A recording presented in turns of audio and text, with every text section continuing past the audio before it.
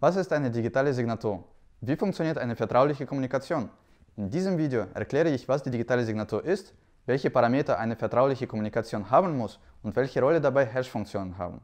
Wie können Verträge in elektronischem Austausch sicher gemacht werden, um sich papierbezogene Prozesse zu ersparen. Ebenso erkläre ich den Unterschied zwischen der digitalen Signatur und elektronischen Unterschrift und wie eine Certified Authority rechtssichere Unterschriften ermöglicht.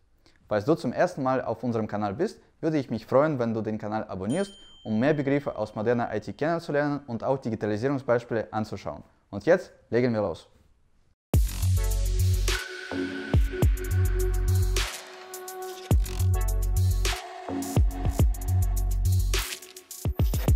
Hallo Freunde, im digitalen Zeitalter ist es sehr wichtig, miteinander sicher zu kommunizieren. Aber was bedeutet sicher? Kann man sich sicher sein, dass die eigenen Kreditkartendaten auf einer Webseite auf sichere Art weitergegeben werden? Wie kann man einer Kommunikation in digitaler Form vertrauen, dass die ausgetauschten Informationen nicht durch einen Hacker geknackt, gestohlen oder verändert werden? Das ist das oberste Ziel von digitalen Signaturen, Vertraulichkeit. Als weiteres Ziel folgt die sogenannte Integrität. Das bedeutet, wir wollen sicherstellen, dass die Nachricht, die wir empfangen haben, auch genau die ist, die verschickt wurde. Und es geht noch weiter.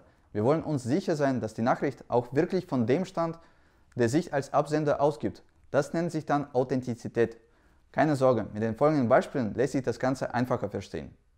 In unserem fiktiven Beispiel wollen Alice und Bob miteinander sicher sprechen. Beide wissen, dass ganz in der Nähe die Kollegin Trudy sitzt.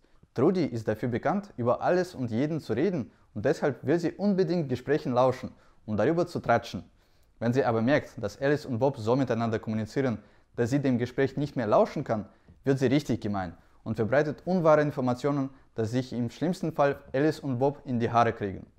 Damit das nicht passiert, erstellen Alice und Bob jeweils zwei Schlüssel, einen privaten, in der Abbildung rot markiert, und einen dazu passenden öffentlichen, in der Abbildung grün markiert. Ihren roten privaten Schlüssel zeigen sie keinem anderen auf der Welt. Ihren grünen öffentlichen Schlüssel hingegen stellen sie allen zur Verfügung. Hinter den beiden Schlüsseln steckt pure Mathematik. Und die stellt sicher, dass etwas, das mit dem grünen Schlüssel verschlüsselt wurde, nur noch mit dem dazugehörigen roten Schlüssel entschlüsselt werden kann. Nun kann Alice die Nachricht mit dem grünen Schlüssel von Bob verschlüsseln, damit kann nur er die Nachricht lesen, denn er besitzt ja als ein einziger den zugehörigen roten Schlüssel. Super, wir haben eine vertrauliche Kommunikation. Allerdings steht Bobs grüner Schlüssel auch Trudy zur Verfügung. Somit kann auch sie Nachrichten damit verschlüsseln und an Bob schicken. Und in ihren Nachrichten stehen keine schönen Dinge, um Bob so richtig zu ärgern, gibt sie sich dabei in den Absendern ihrer Nachrichten einfach als Alice aus.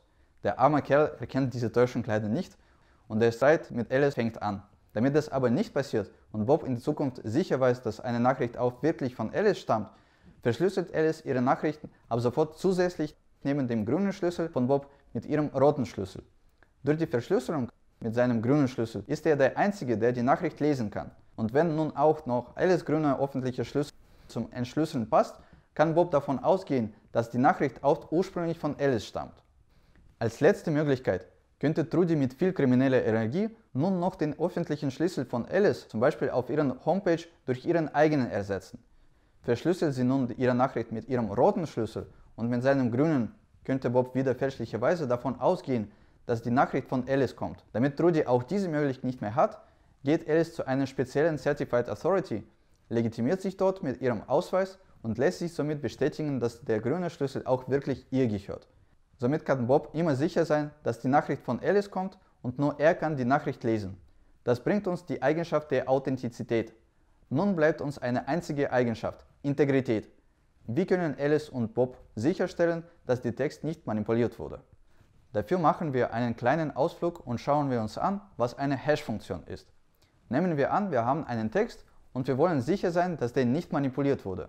Dafür existieren sogenannte mathematische Hash-Funktionen, die den Text beliebiger Größe nehmen und in eine Hash eine fixierte Größe zerhacken können. Diese Hash hat folgende Eigenschaften. Diffusion. Selbst kleine Änderung der von zum Beispiel nur einem Buchstaben führt zu völlig anderem Hash. Stabilität. Der gleiche Text muss immer in den gleichen Hash umgewandelt werden.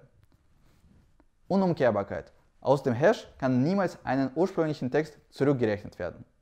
Nun kommen wir zurück zu Alice und Bob. Alice kann jetzt dem Text ihrer Nachricht einen Hash bauen und mit ihrem roten Schlüssel verschlüsseln und mit einem zweiten Kanal an Bob schicken. Bob entschlüsselt die Nachricht, berechnet selbst den Hashwert und vergleicht ihn mit dem, der er von Alice erhalten hat. Stimmen diese überein, wurde die Nachricht auf ihrem Weg nicht verändert. Hurra! Wir haben die Kommunikation, die besitzt nur alle drei Eigenschaften. Vertraulichkeit, Integrität und Authentizität. Und das nennt man das eine digitale Signatur. Eine elektronische Unterschrift ist ein Prozess, wie man mit Hilfe von digitalen Signaturen Dokumente signieren kann. Es gibt mehrere Anbieter auf dem Markt, die diese Unterschriften organisieren und als Certified Authority agieren, um rechtssichere Unterschriften zu ermöglichen. Auch diese Prozesse kann man mit Low-Code oder sogar ganz ohne Code abbilden. Schreib mir gerne einen Kommentar, wenn du ein solches Beispiel sehen willst. Falls dich weitere Begriffe aus der modernen IT interessieren, schau gerne mal in diese Playlist. Ich bin Alexei, bis zum nächsten Mal.